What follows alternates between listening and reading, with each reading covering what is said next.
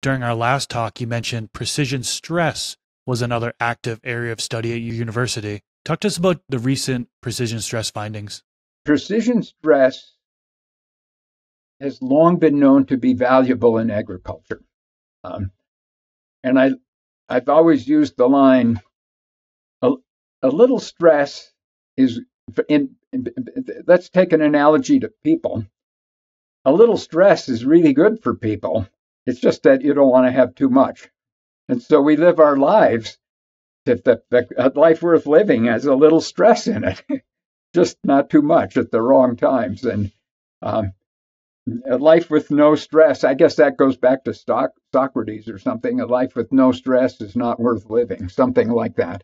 I'm paraphrasing what he said, but it, but people get the point. Um, and so we push ourselves to be on the edge of going crazy with, but because it gets us out of bed in the morning to go to work. So the same thing with plants. Um, we now can grow plants with no stress at all. And of course, they're big and lush and floppy and often low nutrient value, but they grow super fast.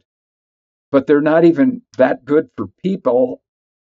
And then the tiniest bit of stress wipes them out. They're just not acclimated to any stress.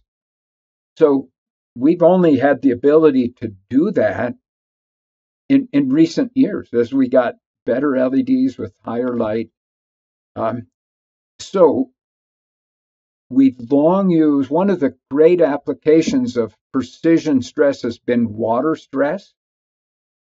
And we have evidence that a little bit of water stress, as you might expect, makes sugar content go up in fruits.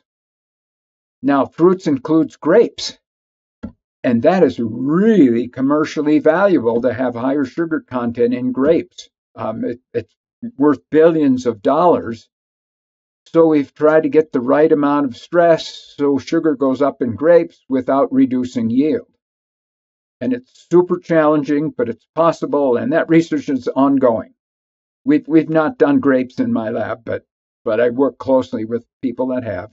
We've also done precision water stress of things like uh, peaches and cherries. Um, Utah is a big cherry producing state and trying to get sugar content up in cherries. Um, and it's possible, but it's tricky to, to monitor. So we bring in all our fancy instruments and try and just give them a little stress. It's in real time, too. We're monitoring the tree and a little bit more, a little bit less. So it's a holy grail of agriculture is to get precision stress to improve quality. Uh, and I, I know it's there. We, we just but it's tricky. Um, so this relates to all crops. Um, the little and, and water stress is huge in this regard, and that's very hard to do in containers with soilless media because they're not gradual release of water. You can have a soilless media that has plenty of water, and then two hours later the plant's wilted. Um, it just goes from ample water to wilted real fast unlike soil in the field, which is gradual water stress. So then we add salt and sometimes sodium chloride and sometimes other things, calcium, magnesium, and to try and create osmotic stress. And this is common in the world of medical hemp. Uh, osmotic stress to improve quality and bringing in that some parts of the life cycle and not others um, in our work here, it's that's a little bit like UV light. It's it's been difficult to enhance quality with precision osmotic stress. I didn't say impossible, very difficult. um, and yet people work on it hard. And some growers swear by it. They, they just say, I'm, I'm sure that's helping me. I'm going to do precision osmotic stress.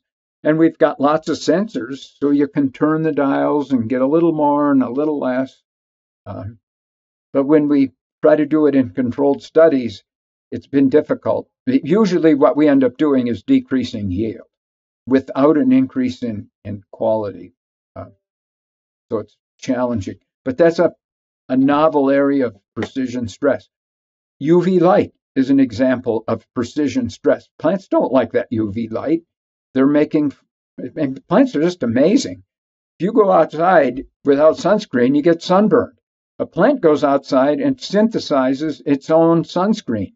It synthesizes pigments that block the UV light. And, and that's why if you put plants outside, they might get sunburned for a few days and then they synthesize UV blockers and then they're okay. Um, but that's a precision stress for UV light. Um, water stress is big. Um, one of the areas we've been working on is precision nutrient stress and not high high stress, not osmotic stress with high salinity, low nutrients to help keep the plants more compact, and especially low phosphorus. Um, we know that low phosphorus can help floriculture plants um, reduce stem elongation and be nice compact plants. Um, and so we take that same concept to other crops like medical hemp and say if we go to low phosphorus, can we keep the plants more compact? And the answer is pretty promising. I mean, I think that we, there's good potential to reduce stem elongation with precision phosphorus stress. And when I say stress, I mean irrigation with like 10 to 12 parts per million phosphorus, not necessarily zero, but often people put on more than 50 parts per million phosphorus. And our studies just show that. We've never been able to show that helps. That's at the high end of phosphorus, but that's some of our couple of our recent published papers um, are on phosphorus nutrition. And I've get, I just gave a talk at Southern Illinois University a few weeks ago. Of the many things I talked about, I chose to talk about using precision phosphorus stress to keep plants short, and then the dangers of high phosphorus, mainly because of the environment. I mean, phosphorus is a very it causes algal blooms, and and it's a it's a toxic element all of agriculture needs to be very careful about applying phosphorus so we don't pollute the environment. And many medical hemp growers are egregiously over fertilized with phosphorus. Hopefully, we write scientific papers and say, be careful in, in your application of this element um, because it's got big, big environmental consequences. I've heard about the over application of phosphorus, and it seems like over the years, recent years, that uh, a lot of these companies have kind of reduced the amount of phosphorus putting that, that they're putting into their nutrient regimens. So that's good to see. Now, how about wind stress? Wind stress is something that, anecdotally for me, seems to make a difference. Now, I'm talking small scale in a tent, having the same genetics throughout the tent, the plants on the front, where there is wind on it more have visibly more trichome productions than the plants in the back. Is there any data to suggest that at all? Yes, yes, there is. Um, it doesn't come from medical hemp; comes from plants in the field. If you take a plant with minimal wind, it's never the wind's never really zero, and in, and in a controlled environment, to, to sound fancy, we call it air velocity, but it's wind, same thing the plant has got a lush environment and the stems can elongate quite quickly. But now, if you start to jiggle the plant, it adapts to that and it makes a more stocky, shorter, stiffer stem. So there is good evidence for that. Now, commercially, we try to give the plants plenty of wind to keep the air well mixed, um, blow the humidity away, reduce mold counts. So we put in all kinds of fans um, to, to mix the air. But, but maybe we could be mixing it even more to help reduce plant height. But then that, again, that starts to come at a cost because you got to pay for the electricity to make those fans. A rule of thumb is if you buy an instrument to measure wind, an anemometer, one meter per second, a, a meter per second of wind is just enough to make leaves flutter. And I always say if your leaves are fluttering, that's near optimum.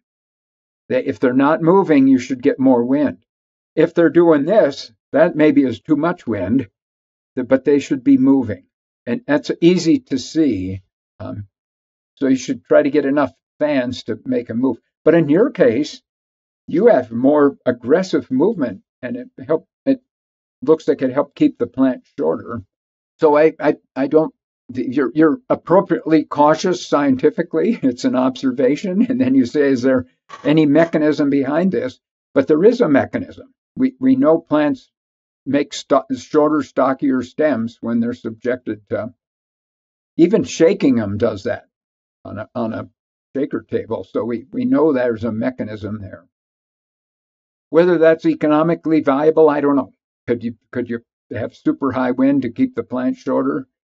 Maybe. This clip is brought to you by VivoSun. Use discount code MrGrow15 to save on any of their gardening products. Go to the full episode by clicking the outro card here, or click the link in the description section below. Catch you in the next video.